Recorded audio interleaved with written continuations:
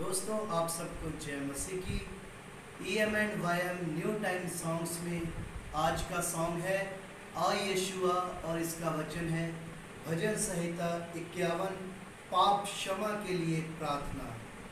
हे परमेश्वर, अपनी करुणा के अनुसार मुझ पर अनुग्रह कर, अपनी बड़ी दया के अनुसार मेरे अपराधों को मिटा दे।